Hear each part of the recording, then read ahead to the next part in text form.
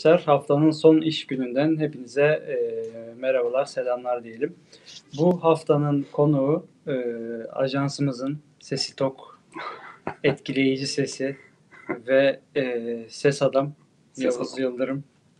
Yavuz hoş geldin abi. Hoş Nasılsın? abi. İyi senden. İyi çok şükür. E, izleyenlere birazcık kendini tanıtır mısın? Yavuz Yıldırım kimdir? Ee, ben e, front-end developer'ım. Hı hı. Arayüz yazılımı Hı yapıyorum. hı. Aynı zamanda UI tasarım, yani çizimler de yapıyorum. Hı hı. Ee, grafik tasarım, video prodüksiyon, müzik gibi hobilerim de var. Profesyonelliğe de dökmüşümdür. Böyle biraz ninja diyorlar.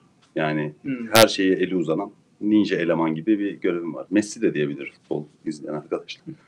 Bayağı e, ahtapot gibi. Merak. Meraktan. Aynen bir nevi öyle. Çok güzel yani merakla bir şeylerin yapılması, insanın içinde hevesi olması Aynen. e, gayet güzel bir şey. Farklı alanlarda kendini ifade edebilmek keza aynı şekilde. Arkadaşlar bugün e, Yavuz'la UI ve UX ile ilgili konuşacağız. E, nedir bu UI UX? Neden bu kadar önemli? E, ve daha fazlasını birlikte Yavuz'la şimdi konuşacağız. E, Yavuz şimdi bu UI UX hakikaten son zamanlarda daha da fazla ağırlığını hissettirmeye başladı. Neden bu kadar önemli hale geldi? Ee, şimdi şöyle bir şey, biz web teknolojileri üzerine e, UI ve UX'e UX'ten bahsediyoruz. Hı hı. Ama aslında gördüğümüz her üründe UI var, UX de var. Yani mesela bir arabada konfor, UX oluyor. Hani ya neden tercih ediyorsun arabayı? Konforundan Konfor dolayı, işte. tasarımından Hı. dolayı gibi ikiye bölersek tasarım tarafı UI oluyor. Konfor, hissettirdiği e, sıcaklık vesaire. Yani e, kendini etkile, et, kişiyi etkilemesi UX oluyor gibi düşünebiliriz. Ee, şöyle bir durum. Ee, UI'ın UX'e hizmet ettiği düşünülür aslında ama UX e, UI'ye hizmet eder genelde. Çünkü orada kullanıcıyı tanır eder ki e, ürünler bu web ürünleri e, kendini satan ürünlerdir. Hı. Hani birisi anlatmaz o siteyi size. O yüzden tamamen UI UX'inin e, gayet iyi olması gerekiyor ve uygulanması gerekiyor.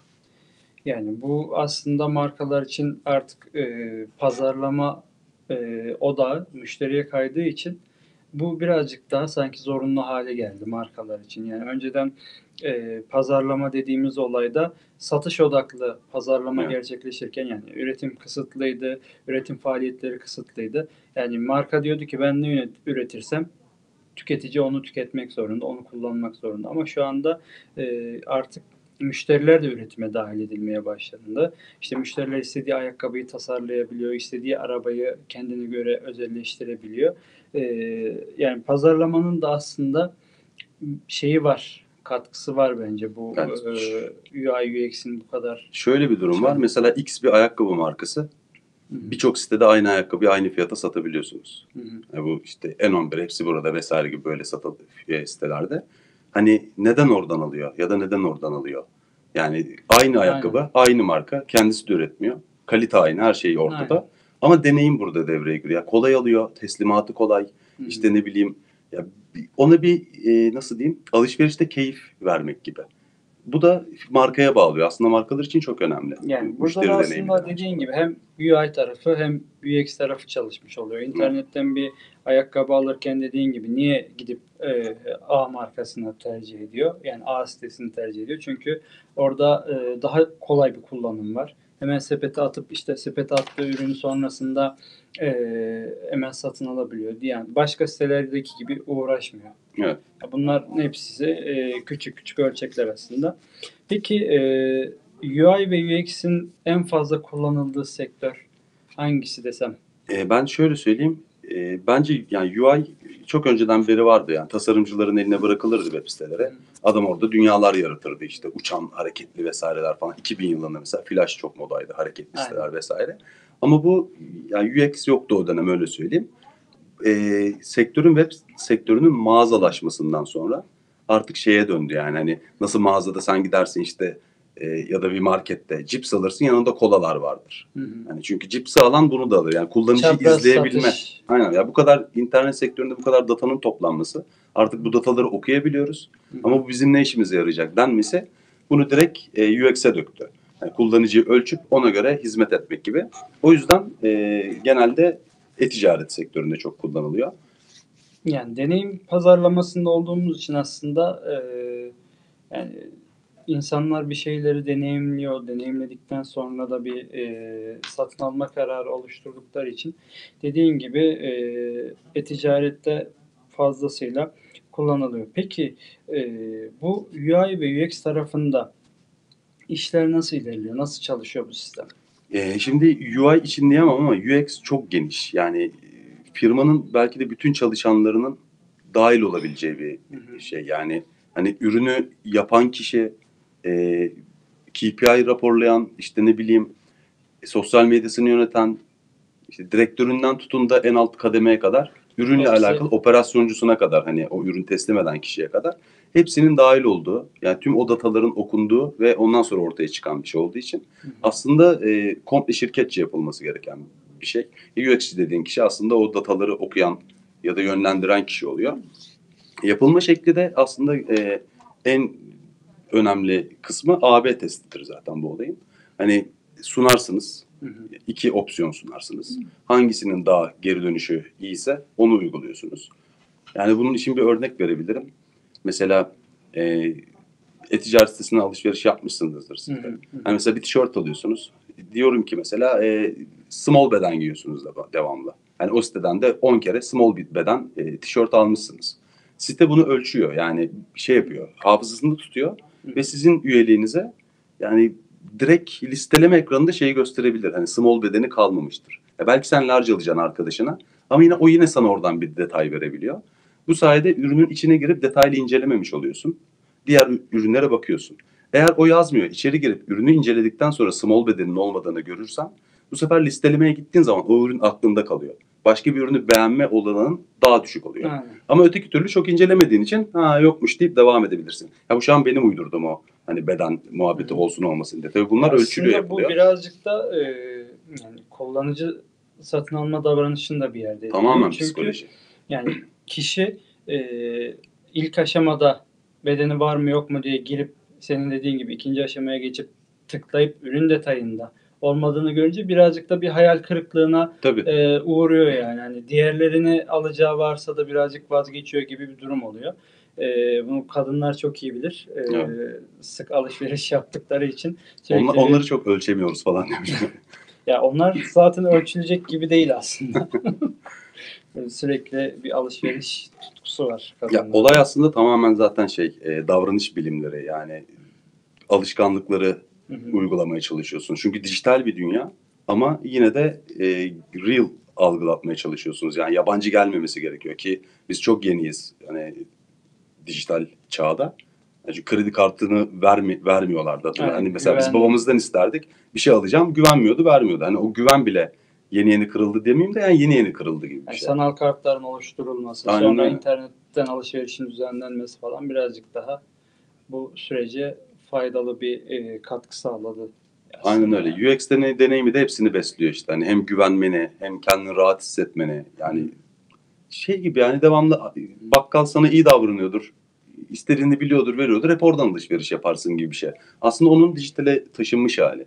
Yani normal görmediğimiz şeyler değil hayattaki. Aynen.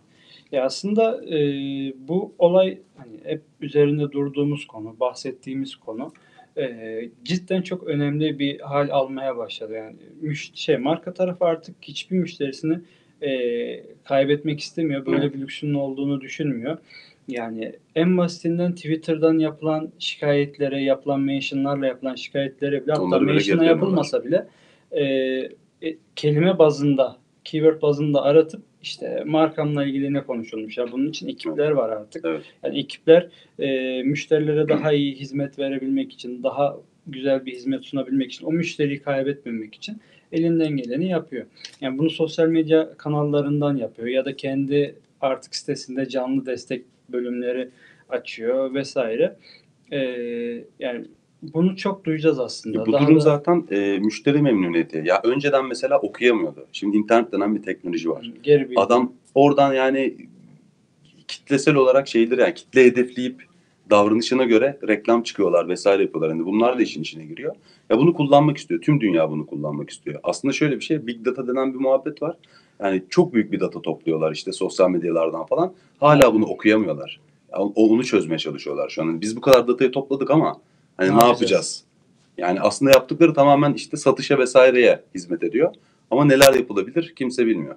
Yani şu an Yani aslında bir maden, büyük çok büyük. büyük bir maden. İşlenildiğinde e, çok ciddi işte işleyen kişiye veya onu işleyip satın alan kişiye çok ciddi katkı sağlayacak ve hani o doğrultuda işte seçim kampanyasından tut o kişinin e, yani hobilerinle ilgili nasıl öne çıkaracağını yani neleri öne çıkaracağına her şey yani o verilerin işlenmesine bakıyor.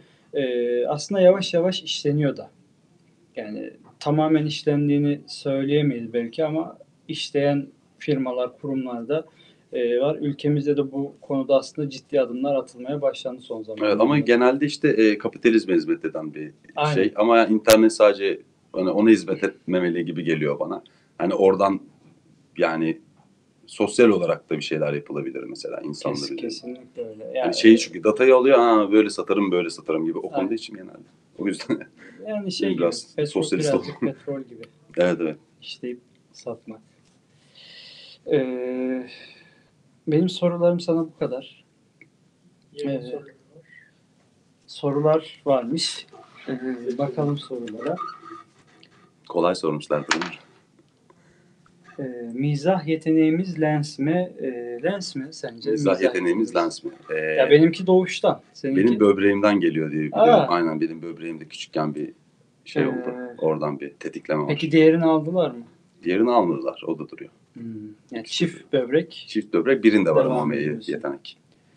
Ee, hangisi daha önemli? UI mı, UX mi? Yani şey gibi. Ya o hani anneni mi daha çok seviyorsun, babanı mı? Yani o, o hakikaten ayrış, ayrıştırılabilecek bir şey değil. Hı hı. Yani Et ve tırnak gibi. gibi. Ama Evet. yani UX diyebilirim yine de bir nebze. Daha ağır basıyoruz. Şu an bir döndüm. Babamı falan annemi. Ee, hangi e-ticaret sitelerinin daha başarılı olduğunu düşünüyorsunuz? Ee, yerli Bu- mi yabancı mı falan. Yani Yani ben Türkiye'de bence. hepsi buradayı çok beğeniyorum. Hı hı. UX konusunda bayağı bir e, değişiklikler yapıyorlar. Yani Aynen sürekli ya bir aslında şöyle hepsi birbirini bir- izliyor zaten. E tabii yani öyle olmaz. Ama hani UX'te şöyle bir şey vardır. Çok saçma gelse bile hani sallıyorum satın al butonunu köşeye dikine yani koy dene diyor. Yani tutup tutmayacağını biz bile bilmiyoruz yani bu işin devleri bile bunu diyor. Belli olmaz diyor yani tutabilir. Dene tutmadıysa başka bir şey dene gibisinden.